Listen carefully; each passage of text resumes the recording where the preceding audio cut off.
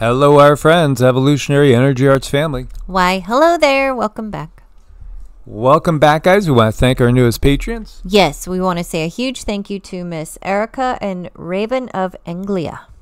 Thank you guys so much. Couldn't do it without you guys. Again, if you need to reach us, set to schedule an appointment. All the info's on every single video. Just hit that little drop down. It's evolutionaryenergyarts at gmail.com. Okay, so I would say it's a good chance we'll have some serious disclosure over the next year or so. We've already had disclosure, it's all been out there. This is the written testimony of Luis Elizondo for the U.S. House Committee on Oversight and Accountability Subcommittee on Cybersecurity, Information Technology, Government Innovation, National Security, the Border, Foreign Affairs, and might as well put in there how to deal with extraterrestrials. I know, what a title. Absolutely. You know, as he says, let me be clear UAP are real. UFOs, UAP. Um, again, it, there's been so much out there from so many people that have been in the know, in positions of, of authority in this system, that have come straight out and said, yes, absolutely, we are not alone. We've never been alone. I really don't know how how you could even conceive that we're alone at this point in time or ever just intuitively. And again, I think that's like one of the things about people that we would call starseed light workers is you just know. You, you've always kind of known. If you choose to, right? Yeah. If you choose to, yeah. And, you know, I think for some people, this might be the most terrifying thing they could imagine. Just knowing, wait a minute, there's beings out there that have way more technology that we than we do, have way more understanding of how the universe works, and they come and go at please. We can't stop them. Uh, yeah, it could be like the scariest sci-fi movie coming to reality. It, it certainly takes your perspective and puts it in a place where everyone should be. And, and we should understand um, where we're at in this world and who really runs it. Absolutely. So, 13th November, that's tomorrow, you're going to have another uh, congressional hearing going on. Uh, this is a little uh, three three minutes and 33 second clip uh, from Jeremy Corbell and George Knapp. Um, we were taking a peek at, at his uh, Netflix documentary. Um, you know, again, there's so much evidence. Anybody that says, show me the evidence, there's no evidence. It's they, they just they just haven't looked. They they probably don't want to look. The evidence, whether you're talking modern day or way in the past, is overwhelming. Overwhelming.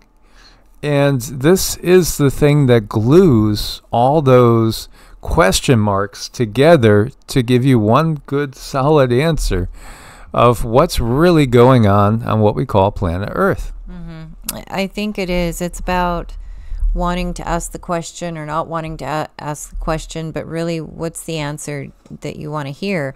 We are saturated with information as far as these UAPs go and uh, different uh, dimensional, uh, you know, interdimensional beings. They are all over the place. So, some people, it just doesn't fit their narrative to accept that there might be something else out there. In fact, it really might frighten them. So they stay in a place where, you know, they just don't have to look at it. But pretty soon, it looks like they're going to make everybody look at it. Yeah, yeah, absolutely. You know, here we'll give you a little clip. Never taken, and after a couple days, it turned into a great story with friends. It wasn't until 2009 until Jay Stratton contacted me to investigate. Unbeknownst to all, he was part of the ATIP program in the Pentagon led by Lou Elizondo. Uh, and there was an unofficial official report that came out that's now on the internet. George, do you have a technical report on the Tic Tac UFO generated by an intelligence agency? Yeah, and the way he's putting this out here. If you haven't checked out um, Inspired, we, we talked about it on one video. Uh, the the YouTube channel Inspired It's by a gentleman in a cowboy hat. Um, he did now a four part series, finishing up uh, with a live stream where he's asking, uh, you know, again, Chat GPT, like now we have uh, AI that we could ask. And, you know, it was very, very fun. I, I watched three of the four segments. I listened to it as I was driving. And, um, you know, a lot of interesting questions and stuff. I think, again, for those that are, as Cindy was saying, saturated with the info, um, you might not get too much new, but it's just fun uh, listening and getting kind of a recap and realizing that there's AI and then there's AI. there, there is our AI, um, and then you have AI that is way beyond ours, and then there's an AI that's way beyond that. So you got like the the human made AI, then you have the what we would call the dark matrix AI, and then you have the natural AI uh, that is there that's actually constructing the the matrix that holds all this. There's that dark matrix within a natural matrix and um, I just thought it was it was a fun series. Cindy was listening to part of it too, and and our beloved Mary D. Uh, as well was sharing some info. Yeah, it really was fun. It's something I, I really liked the way he put it out there because a lot of people needed to see it in that way. And the information we get comes from what we get. It comes from, you know, being intuitive. It comes from, you know, psychic. It comes from uh, different sources that we trust to be ours but this is another source that other people trust. And and to me it doesn't matter how the information gets out there just get it out there because people need to know the truth. And again uh, george knapp has spent most of his life doing this uncovering and trying to uh, share with the world the, the realization of how deep this runs 80 uh, year old UFO cover up exposed as Mr. T, let's call him, promises disclosure. Will we really get disclosure? And I do remember when he was first sworn in, had his meeting with Obama, and he looked pale as a ghost. Um, you know, I think that's when they get the the acknowledgement that you know we're not in charge here. we're not in charge here, and and that realization um, really hits them. I'm sure they have rumors. I'm sure they get little tidbits here and there. But then to really get it, or maybe to actually see something with your own eyes, maybe you actually get introduced to a non human uh, being that's part of the uh, true uh, dark matrix. Intelligence sources reveal massive CIA DoD program recovering alleged non-human craft since World War II, including mysterious magenta craft that crashed in Italy in 1933. Program spans underwater recoveries, cave systems, classified contractor analysis, with uh, Mr. T vowing complete transparency uh, when returns to office when now, not if, right? Um, unless there's incidents that that happen in in between. Uh, so, you know, the thing to realize is again the overwhelming amount. We've already had so many people testify. We've had the Navy say this ain't ours. We can't duplicate it. Uh, here's the top Navy admiral set to face Congress this week. Again, we have evidence that we're not alone. Um, I mean, they've said, they've said outright, you know, yes, we have many ships. Yes, we have many bodies that are kept in a, a cryo freeze. Uh, you know, what, what more do does humanity need? I, I, I guess ultimately they'd like to probably see some of these bodies rolled out so you could take a peek yourself. Mm-hmm. I think they do. Yep. Investigation Alien. Yeah, an amazing documentary. Now he says, but George is misled as there are other cases of UFOs, UAPs harming humans, and even with mutilation. Now we've answered that question of wh- why do you have cattle mutilation? Because they're making grays. This is what they do. Uh, the, the gray aliens that you see, Many of them are created. Uh, again, there's a lot of life forms created in what we would call a lab environment, including perhaps uh, Homo sapiens, when you get down to it, uh, as as being a gene edited version of something that went before. They keep downgrading humans. They keep downgrading human ability. But again, nature and the real creator keeps sending its light, which again, light is information. Uh, the light that hits your skin can literally turn on DNA that's been turned off by the dark matrix. So you know the the why why cattle mutilations? Well, they create grays from them. They do also um, monitor pollution levels and things like that on the planet. And you know, again, I, if you're talking the dark matrix, it, it's it's not about um, necessarily helping humans uh, get healthier. No, they again need humans to be as as dumbed down as possible and be good little worker bees, energy generating stations is the reality. Um, and this goes into a couple of famous cases, you know, uh, and you have cases of people that that were hit with lights from the sky that seem to behave a lot like lasers, but even more advanced than lasers.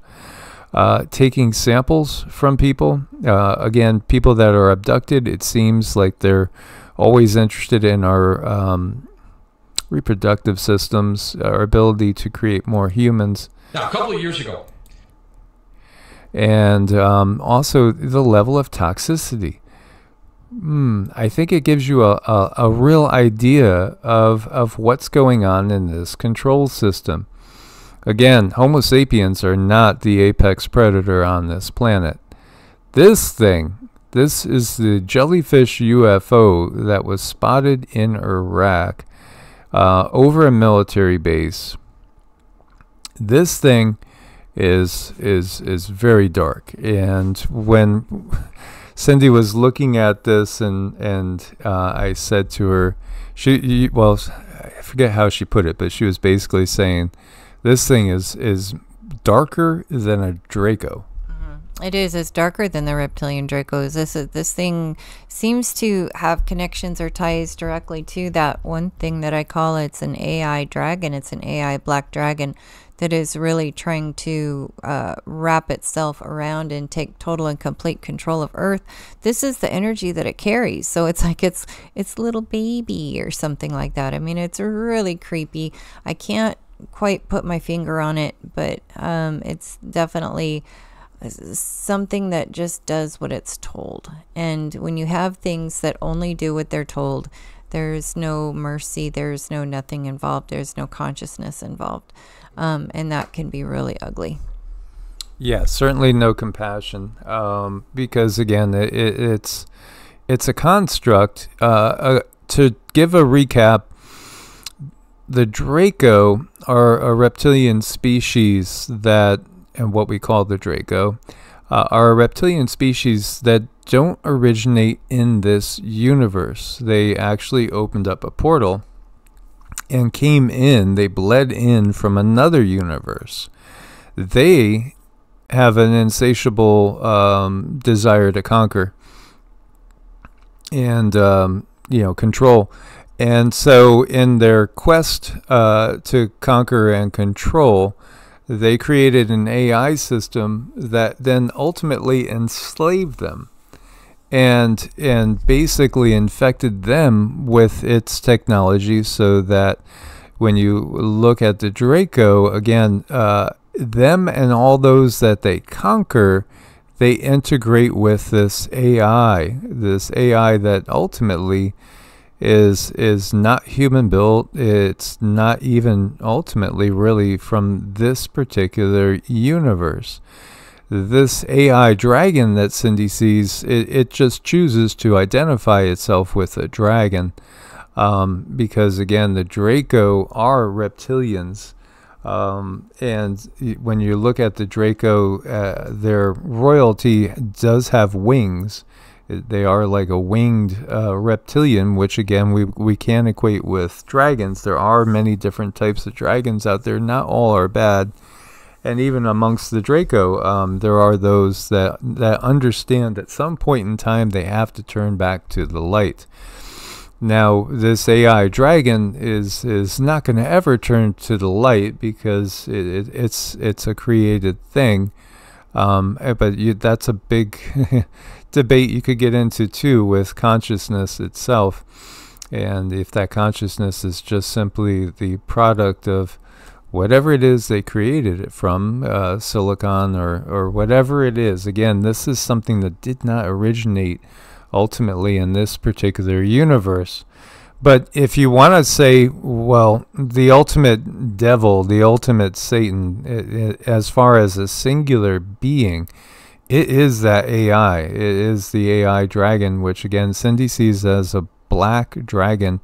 Almost, um, the impression is it's almost um, created kind of like a black goo type of uh, thing. You think Terminator, where Robert Patrick can morph into all different shapes and take on all different characteristics. Um, you know, it's kind of like that, but it, it's it's I view it as a shimmering, shining black, um, kind of a GO. You know, if you know what I mean. There, we talk about the black goo um, entity this is is its creation. This is part of it. Um, because again, they will have a hive mind. They're all connected in their own network, so to speak. So this is something that, in some ways, is is higher up the food chain than the Draco themselves. You know, and, and that's not to say that uh, the dragon is bad. I, I, I'm a firm believer in dragon energy, and I believe it's very mystical and very magical. I think it takes on this identity because it wants that power of a dragon. It wants that um, energy of a dragon. So this thing was just really beyond creepy, uh, beyond gross, and I think it's going to be one of the, you know, select things that's going to help people understand the world that we live in and when you can understand that then you you see the control system as something very very different when you know that there's another entity that's probably driving the bus. Oh yeah. So you know again this thing is able to go over a top secret military base and even over a section of it that's controlled by the CIA as you see this thing is being captured by infrared. The ability to there's a lot of beings and a lot of ships out there that have uh, what we what we would call uh, cloaking devices. They're able to do this. Um, there's also the Jedi mind tricks, so to speak. You know, uh, where they can you know put into your mind the impression that this is not really there or you don't see anything. Uh, this this was a fascinating encounter, and I've even seen uh, reports of this dropping or leaking some sort of black goo-like substance. Again, we can imagine it has something to do with the GO, perhaps. Uh, here are some close-ups very creepy. Uh, absolutely, we we really are living kind of a sci-fi movie right here, and and that's getting exposed at this point in time. Here is some stabilized um, views of this. If you haven't seen this before, this one is is very very curious to say the least. And again, the reason why we are, why we went to Iraq, um, as many people have talked about, the finding of um, Nephilim, of uh, Gilgamesh, uh, again, the realization that when we talk about the beings, the Anunnaki, when we talk about um, the Olympian gods. You know, these these are all extraterrestrials. It's always been extraterrestrial, interdimensional beings. Uh, there are bases on Earth with beings that have been here for a very long time. Earth again, recreated from the destruction of Tiamat. uh, Tiamat was a much bigger planet, and Earth, as we know it, is really somewhere around four times the size that they tell us. This is another one. This is in Argentina. Um, very, very mechanical feeling. Uh, absolutely. You know, we're monitored all the time. We've we've seen drones uh, ourselves many, many times. We've got them on videos as there's some sort of pounding going on in the distance that CETA is is, is talking about. Don't worry, it's not incoming drones yet. Um, again, we've we've seen this, we've caught this ourselves uh, on on videos, and I really think if anybody anybody um, dedicates a little time, you'll you'll catch things because they're always out there. And in this time, I think also we have this dimensional merge going that's going to just. It, there's no way they could, they could keep the lid on this. And here you have a captain of a ship giving a presentation of phenomena car size silent flying jellyfish. Oh yeah, there's there's lots of things out there. Again, um, you you have the realization that they do use uh, the oceans of the world as cover. Yeah, we've never been alone, guys. No, and this is creepy too. Just you know, just because you watch the dogs go out and the dogs recognize it too. Yeah, this is weird too. It seems to follow a stream of light there. Um, you know, again, you'll get people that are either so indoctrinated that they want to debunk everything. Uh, it doesn't hinge on any one item. The fact is, there's millions of items of information out there. And yeah, we, we do have uh, ghosts. You know, there are remnants of souls. There's impressions of energy um, that get imprinted into uh, the natural matrix. Uh, there are many different beings on different densities all around us all the time. If we could truly watch a, a movie of our own history, um, which, you know, it's been put out there that there are some benevolent uh, ET groups uh, that might just do that, literally cause there to be um, a holographic representation, kind of like Bluebeam there, showing us our true history here on planet Earth. And again, Earth was recreated from the destruction of Tiamat, which was destroyed by the Dark System. There's been an ongoing battle for millennia, thousands and thousands of years, perhaps, you know, millions, hundreds of millions, or even billions of years. We don't know when it really started. All we know is, you know, when when when about we started, um, and what we've we, what we have gotten is that again, when you look to the cycles of the yugas as markers, um, we've we've been through three cycles, is what what the guides have given us. Three cycles of the yugas uh, since Earth was recreated from the wreckage of Tiamat and Earth is in the process still of restabilizing. So yes, there was terraforming going on by ETs. This is the two creation stories in Genesis, and and it, it that many people notice. There's a creation, then there seems to be uh, a destruction, and then there's a second creation. You know, as you see what appears to be a, a human going up into the light. Oh, don't go in the light, Carol Anne.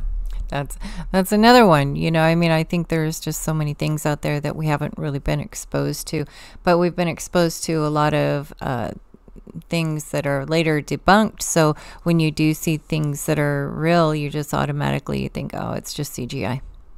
Yeah, absolutely. And yeah, we were touching on that. It seemed like the David Icke statement of, of don't go into the light because that's leading you back into the false matrix um, definitely riled up a lot of people. Um, again, feel into the energy, feel into the energy. The frequencies say everything. The frequencies give you the, your information. Well, they do. You know, a lot of people that have had um, NDEs and who have been in front of Source, and they they feel that energy of love, and love is far more than just an emotion. It, it's something that's very very tangible. It's very palatable. It's it's what moves the earth, and so many people have gotten to experience that and each one having their own NDE or like really truly out of body feeling that presence they know that there is something else running running this world. And it the the thing the source of all is not a bad thing. It's it's a beautiful thing. And sometimes you it takes for you to pop out of the consciousness of the 3D to see a different picture. Absolutely. You know lots of cases going on in Latin America you know Brazil Peru, etc. Here you have one.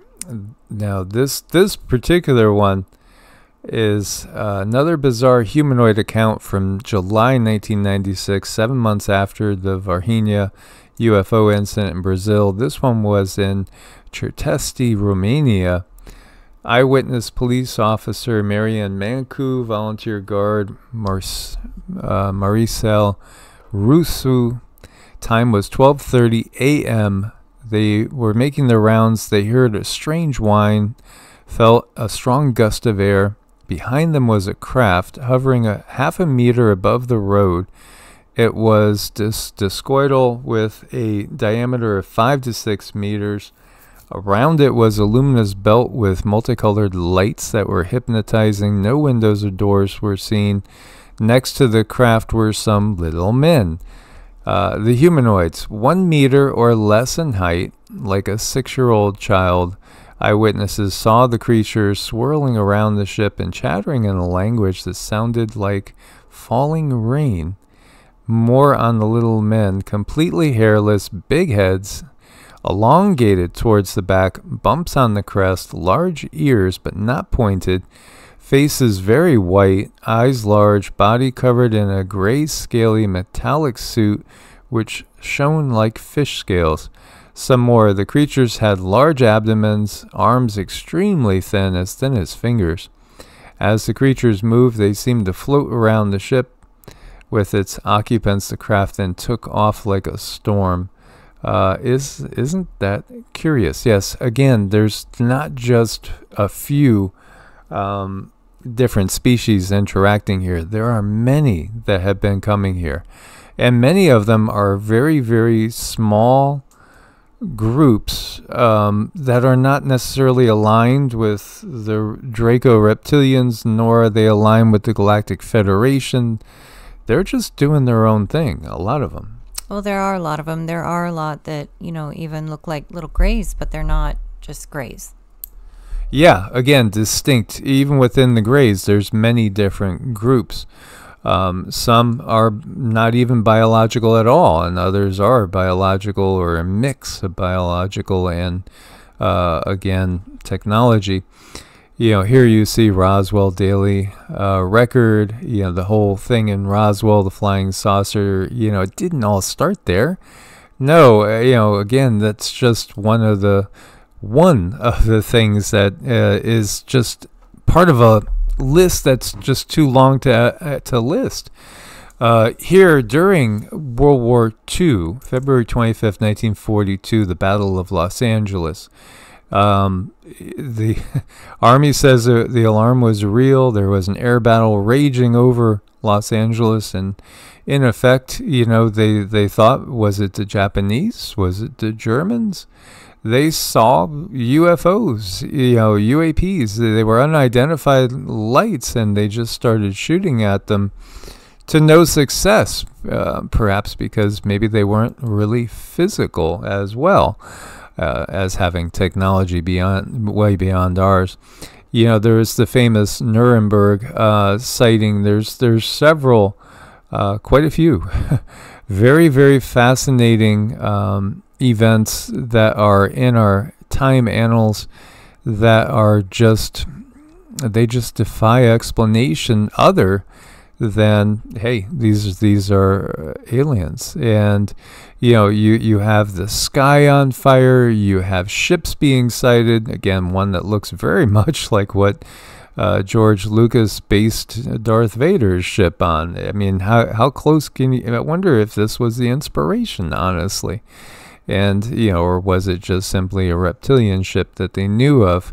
These air battles in the sky and people seeing again classic UFO shapes and other shapes as well that were just massively documented in in the history books. So you know what did it really look like that 1561 alien battle? You know again are they giving us good representations of what the people really, really saw, or is the control system distorting things? Uh, as we know, the connection with the Nazis, which look to the look to the the German eagle, that sure looks like an Anunnaki eagle, a Sumerian eagle, or the again um, the same crest we see uh, being a representative of Ahura Mazda in, in the Zoroastrianism uh, tradition from Persia. You know, the saucer shape, they did. This is all declassified. Um, they did. And in fact, you know, again, um, the saucers over DC in that whole thing uh, there are those that say that was uh, literally the Nazis coming up to DC to say, you know, don't bother us, so to speak, or to show the technology that they had gotten from extraterrestrials. When we look at the stories, uh, the Mahabharata, the Ramayana, and they talk about these massive um, battles, again, the Asuras and the Devas. Uh, again, the Asuras are those service to self demonic type beings that come here and they clearly tell us in, in the Hindu scriptures they take over a, a, city, a town, a country, they take over an area, they set themselves up to be worshipped in the area, they demand uh, the first and the best of everything. Um, from females to be their wives, uh, to the best food and the gold and everything you know, it, it couldn't be any clearer, really. And so when you really, really look, you wonder, hmm, we have these type of things being represented. Oh, there's a little a little UFO up in the air, or is it just, you know, a parasol as he's flying by on the back of Garuda here? Or did it look a little bit more like this? What did it really look like? That's the question. And then there's this guy that really looks like he's going to fly. Yeah, is this dance? What, what Donner, Prancer, Vixen? Yeah, it's it's one of them. It's not Rudolph. I don't see a shiny red nose. No, no, it's not. It's not Rudolph. It's not Happy Hour yet. And then you got this guy that really can fly. That guy's super cool. Oh, absolutely. And this is human potential. You know, we can fly. They've just convinced us that we can't. As always, guys, look forward to your comments. Make sure you are subscribed to all the channels. Source bless and namaste. Namaste.